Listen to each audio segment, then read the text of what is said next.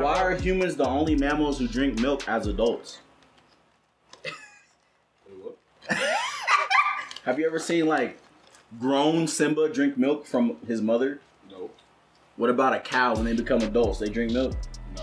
What about like dolphins when they become adults? Do they drink milk still? Why do humans do it?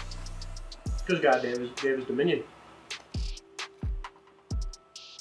I don't know why we drink milk. That's all I'm saying, bro. And you I want to watch? it.